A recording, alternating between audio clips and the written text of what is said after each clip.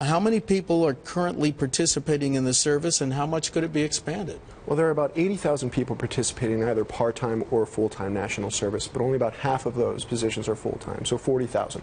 And I think that you could actually expand it to about a million on about a 10-year time horizon. What about the cost and who pays for it? So I think that it's a public-private partnership. Currently, AmeriCorps and the Corporation for National and Community Service has an annual budget of about a billion dollars.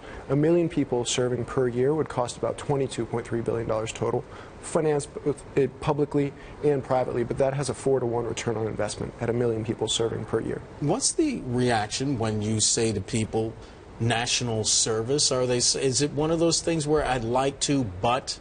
Actually, no. Uh, young people are volunteering in record numbers. So, you surprised by that?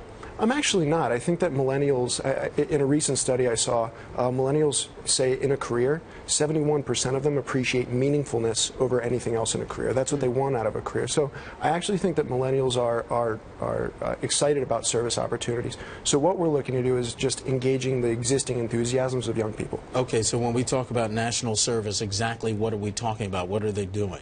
Yeah, so there are 2.3 million nonprofits in the United States, mm. and I already identified that young people are trying to volunteer in, in record, num record numbers. 585,000 applications for AmeriCorps in 2011 for 82,500 slots. Wow. What we have now, though, is the technology that allows you to meet to bring together the people that want to serve with the organizations that, that, that could host them. And we've actually had a huge partner step up in Cisco, who's helping us to create a technology exchange where young people, organizations, and funders can get matched up. The economic benefits to the nation.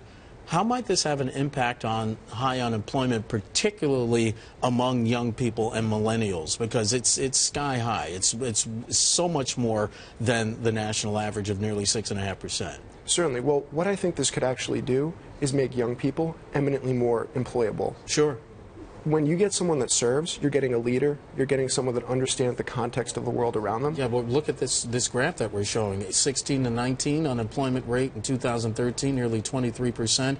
Ages 20 to 24, 12.8%. That's staggering. So at least if they're getting involved in this, are they getting the requisite skills they need to then make the leap into a position once they get into the workforce? Absolutely. And I think that this is a place where the private sector can, can be a huge boon to the Franklin Project, is in helping us to envision the ways that we can credential national service to offer a specific pathway into follow-on employment. Absolutely. What would you say to a young person who perhaps has tuition loans piling up and they're saying, I would like to serve, but I really need to get these student loan people off my back. I've got to get a job. I've got to pay down these loans. Absolutely. So actually, if you do AmeriCorps, which is existing government national service, mm -hmm. you're eligible for a Segal Education Award. So it actually helps with some loan deferment. That's first. Second of all, the, the national service that we're talking about would be stipended at a, at a moderate level. So you would actually be able to get paid as you're doing your service. Talk to us about the tie-in to the Serve America Act. That was sponsored by the late Senator Ted Kennedy, That's and correct. it was signed into law, I believe, back in uh, 2009.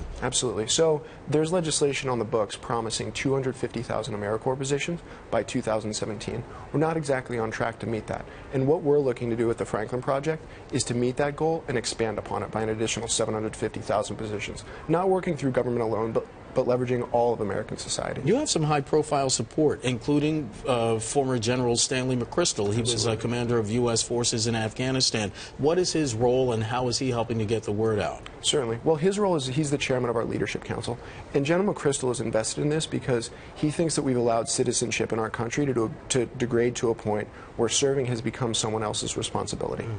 And the fact is, that our country just doesn't work if not everyone's invested in it. If we're not invested in it, we don't have confidence in either the country or, or one another. So it's something that we need, is a revitalization of citizenship. Where are you getting your financial support? So we have a, a, number of a number of corporate individuals and also philanthropies. But Cisco has been a, a, huge help working on the technology platform that I mentioned to you. Jason Mangone, director of the Franklin Project. Uh, is there a website link where people can get some more information? Absolutely. You can actually look at the uh, new version of the, of the technology platform, sort of a preview if you go to www.userve.org.